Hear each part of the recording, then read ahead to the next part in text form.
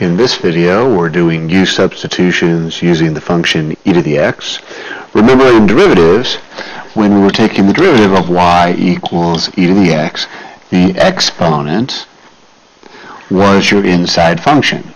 And remember, again, the derivative of dy dx is just e to the x. So in our first example, notice this does say e to the x, so our answer is just e to the x plus c. In our second example, our exponent no longer says x, it says sine x. So u is sine x du dx, the derivative of u with respect to x, would be cosine x. Kill the fraction, so du is equal to cosine x dx. Now, notice, cosine x dx, I have that. So that becomes du. e to the sine x becomes e to the u.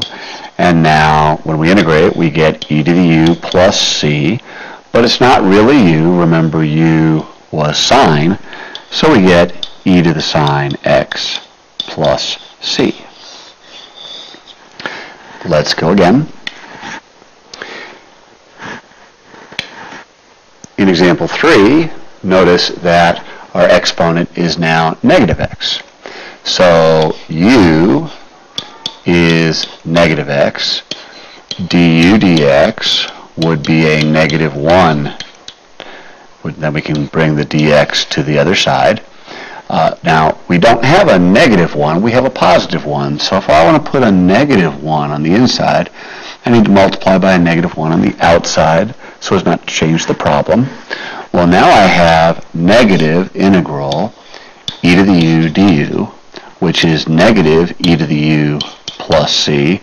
But again, it's not really u, it's really negative x, so I get negative e to the negative x plus c.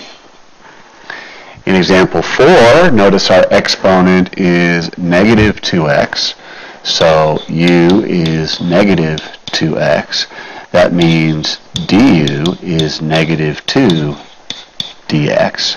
Now, I need a negative 2 dx, I only have a dx, so if I want to include a negative 2 on the inside, since that's multiplication, I'm going to need a negative half on the outside.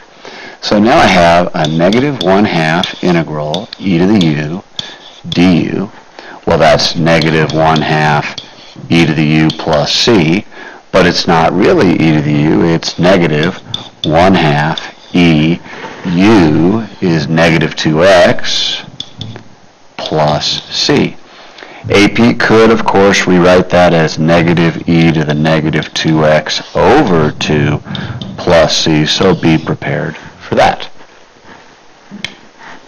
In example 5, let's try that again with a negative. Our exponent is negative 5x, so u is negative 5x, du is negative 5 dx. I don't have a negative 5 dx, so if I want to put a negative 5 on the inside, I must multiply by a negative one-fifth on the outside. I get negative one-fifth integral e to the u du. So that's negative one-fifth e to the u plus c, which is negative one-fifth e.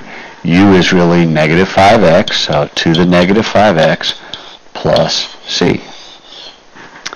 In our last example, this looks a little bit tricky, but it's about the same.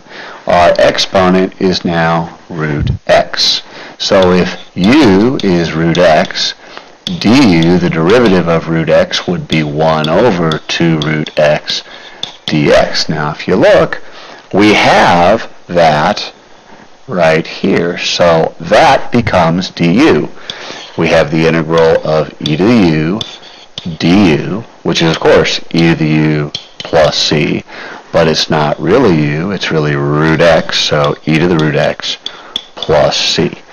We need to think of this problem up here, and I'm going to rewrite it over here so you can see it perhaps a little better, is integral. Think of it as e to the root x times 1 over 2 root x dx. That way, you can maybe see your du a little better.